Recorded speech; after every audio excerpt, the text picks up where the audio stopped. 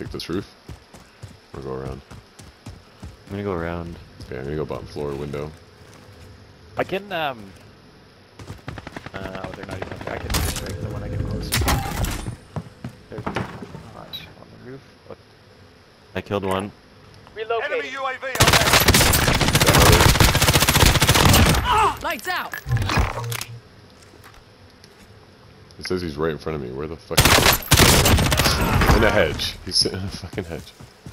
they both were! What? They're Repositioning. That team So- moved to orange.